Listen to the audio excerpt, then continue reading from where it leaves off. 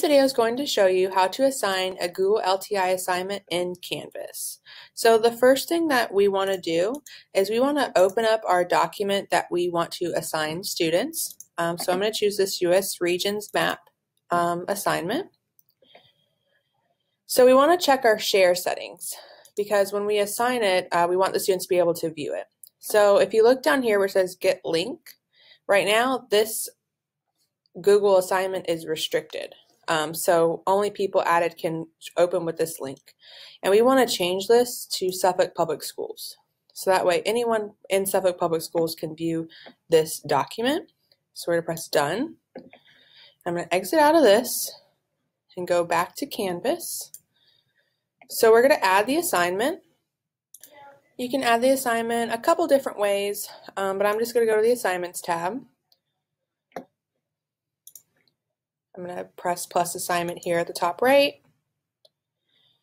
Right, and then we're prompted to give our assignment a name. I'm just going to name this practice map assignment. You can enter a description here um, for anything, directions that you want students to know.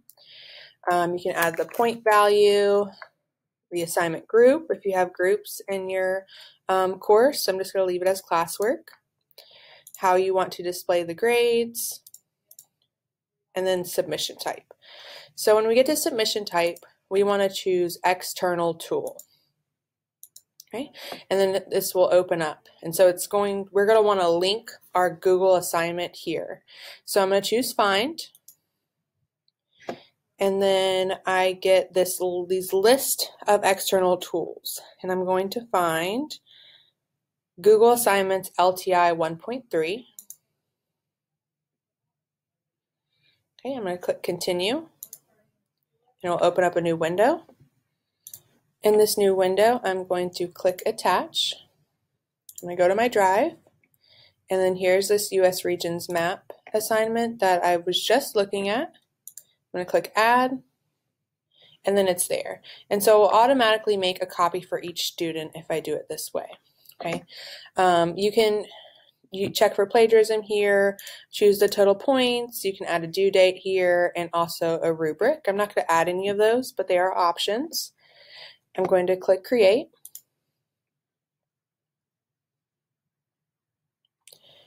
All right, and so this, when this window pops back up, it's really important to click Select again. If you click the X or you click out, um, it will not upload the assignment correctly. So I'm going to choose Select and then I see that there is a link in here, so that means that um, I uploaded the assignment correctly. I'm also going to click load this tool in a new tab. If I if you don't click that, the assignment will load into within Canvas, um, but I want to open up a new tab so that way students have um, a wider window to see the assignment.